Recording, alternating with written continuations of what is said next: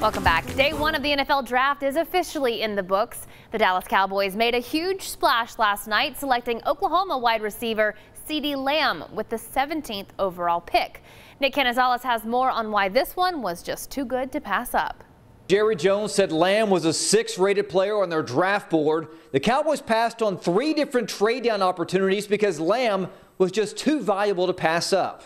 With the 17th pick in the 2020 NFL Draft, the Dallas Cowboys select CeeDee Lamb, wide receiver, Oklahoma.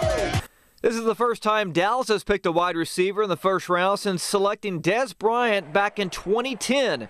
The Cowboys figure to have an explosive offense with Amari Cooper, Michael Gallup, running back Ezekiel Elliott, and quarterback Dak Prescott.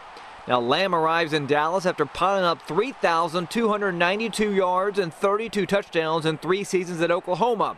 He becomes yet another force for offensive coordinator Kellen Moore as they retool an offense that led the league in yards per game last season. But at the end of the day, uh, Lamb made the decision. He, he was good enough uh, to uh, take our pick above other guys we could have picked and, and felt very good about. Uh, his ability to go get the football and make plays, you know, obviously has some return return ability. Uh, we just felt like we took the best player on the board, board and he'll be very dynamic for our offense. Jace Prescott, the older brother of Dallas Cowboys quarterback Dak Prescott, died Thursday at the age of 31. There's no information on how or where Jace Prescott died.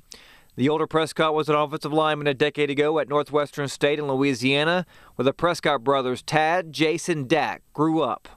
Also, a pair of Baylor Bears are expected to be drafted tonight, possibly in the second round. The Athletic has Denzel Mims reuniting with Matt Rhule in Carolina with pick 38.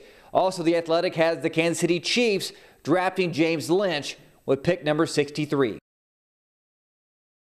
And you can watch the second and third rounds of the NFL draft right now on ESPN. We'll be right back.